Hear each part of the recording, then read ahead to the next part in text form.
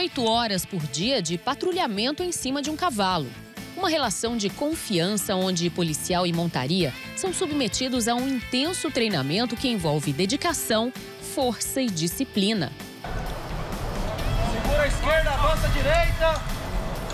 A polícia montada está sempre presente em lugares com grande aglomeração de pessoas, como portas de estádios em dias de jogos, shows, em manifestações. O policial sobre um cavalo tem acesso mais fácil e rápido a certos lugares do que uma viatura, por exemplo, e consegue ver melhor situações de risco. O cavalo ele tem uma, uma ação presença porque são 500 quilos, 600 quilos de, de massa muscular, né? O policial está a dois metros e meio de altura, né? Ele, ele vê e é visto. A Cavalaria do Estado de Goiás foi criada há 126 anos e tem mais de 100 homens e mulheres em atividade.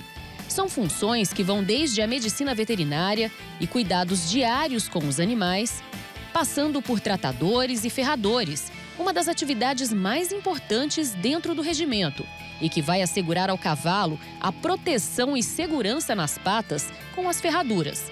Por aqui são trocadas uma vez por mês. A equação casco de cavalo e asfalto, os dois juntos não combinam, né? É muito frágil e tal. E a, ferra, a ferradura, ela vem para proteger esse casco. Hoje a cavalaria goiana conta com quase 100 animais.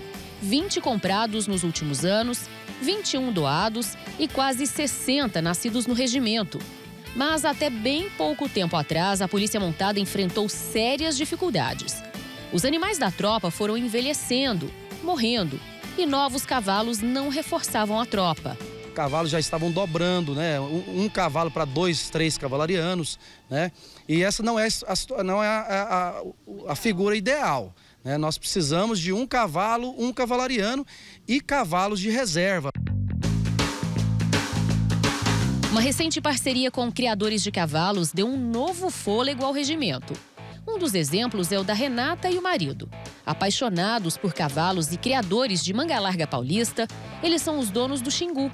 Esse bonitão aqui, ó, que abriu o desfile de aniversário dos 161 anos da Polícia Militar e que agora está emprestado à cavalaria para reproduzir e dar origens a potros que vão servir no regimento. Foram cinco grandes aras do estado de São Paulo que doaram animais para cá.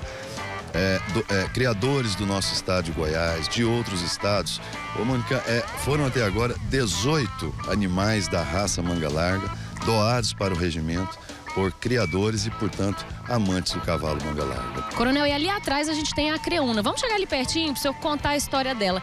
É, já é um animal, né? Foi uma égua nascida aqui na cavalaria? Justamente.